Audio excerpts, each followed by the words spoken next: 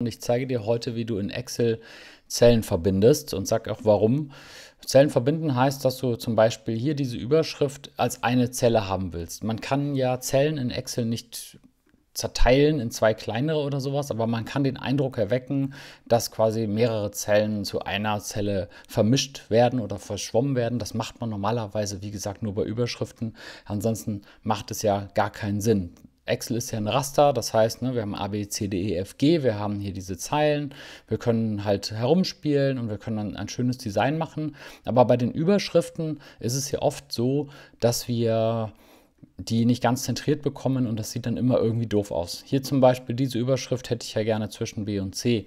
Und da gibt es was ganz Tolles und das benutzt man eigentlich nur aus Designgründen und das ist das Zellen verbinden. Dazu gehen wir hin und markieren diese ganzen vier Zellen hier, 1, 2, 3, 4 und dann gehst du auf Start und hier siehst du Ausrichtung und dann gibt es hier diesen Knopf verbinden und zentrieren. Wenn du den drückst, wird daraus eine Zelle und man kann die auch nur als eine Zelle markieren. Siehst du, ich mache mal ein bisschen Fett hier und das sieht halt dann schön aus. Man muss aber ein bisschen damit aufpassen, denn ähm, was ist es jetzt? Was ist die Adresse von dieser Zelle? Ist es A1, ist es B1, ist es C1?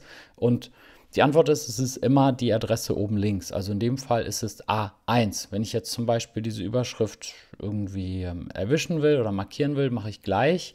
Und dann siehst du hier A1 und also D1, B1 und C1 gibt es nicht mehr sozusagen. Ja, also das ist das Thema Verbinden und Zentrieren. Du kannst es auch rückgängig machen, indem du das wieder markierst und dann sagst du hier Zellverbund aufheben.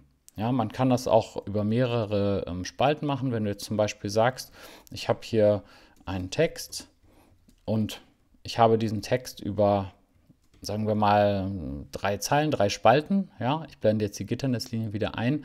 Dann kann man das sehr schön sehen wenn ich jetzt klicke auf Verbinden und Zentrieren, dann ist es komplett. Also dann ist diese Zeile besteht dann eben aus neun Zellen und das ist eine sehr schöne Sache. Man kann hier noch die Höhe verändern, siehst du hier bei der Ausrichtung. Dann hast du ein schönes kleines Designelement.